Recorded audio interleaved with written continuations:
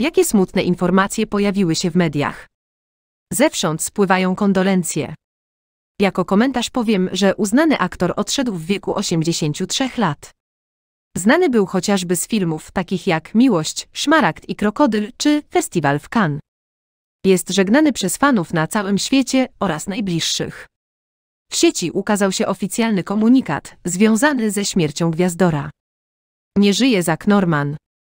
W mediach społecznościowych ukazała się druzgocąca wiadomość o śmierci popularnego amerykańskiego aktora. Norman karierę w showbiznesie rozpoczynał w latach 60. XX wieku.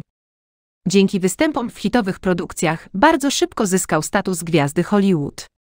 Wszystko zaczęło się od występów o charakterze stand-upu, które w 1969 roku przyniosły aktorowi rozpoznawalność na terenie USA. Wraz z upływem czasu zaczął otrzymywać epizodyczne role w coraz większych produkcjach filmowych. Punktem przełomowym w jego karierze zawodowej był rok 1984, kiedy to powierzono mu rolę kuzyna Iry w uznawanym dziś za kultowy filmie Miłość, Szmaragd i Krokodyl. Od tego momentu Zack Norman nie mógł narzekać na brak ofert.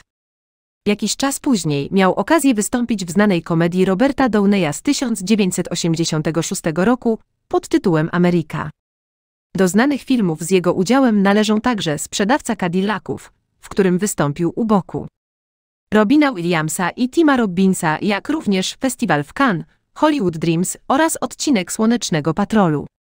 Oprócz tego przez cały czas był bardzo aktywny na scenie teatralnej, gdzie łącznie wystawił ponad 20 sztuk. Zack Norman był również odnoszącym sukcesy przedsiębiorcą. Był założycielem wytwórni filmowej Gemini Pictures International, której został prezesem. Przez dłuższy czas działał jako producent, ale ostatecznie to jednak pasja do aktorstwa zwyciężyła. Smutną informację o śmierci Zaka Normana potwierdził jego zięć Jeff Briller. W wywiadzie dla portalu Deadline wyjawił, że aktor odszedł 28 kwietnia. Tuż przed śmiercią napisał i wysłał wiadomość do przyjaciela, że odchodzi. Zmarł z przyczyn naturalnych w wieku 83 lat. W mediach społecznościowych błyskawicznie zaroiło się od kondolencji autorstwa zasmuconych fanów. Wszyscy łączą się w żałobie po cenionym aktorze. Również jego córka, Lori Zucker-Briller, opublikowała przejmujący post na Facebooku. Wiem, że dokądkolwiek odpłynąłeś, wszystko tam stało się żywsze. Byłeś najbardziej zagadkową osobą. Najlepszy ojciec, mąż, dziadek i przyjaciel. Wniosłeś tyle śmiechu do naszego życia i wzbogaciłeś je.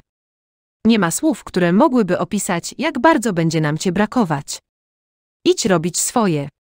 Kocham cię na zawsze, napisała w mediach społecznościowych. Póki co nie wiadomo, kiedy i gdzie odbędzie się ceremonia pogrzebowa. Rodzinie, przyjaciołom i najbliższym składamy głębokie wyrazy współczucia.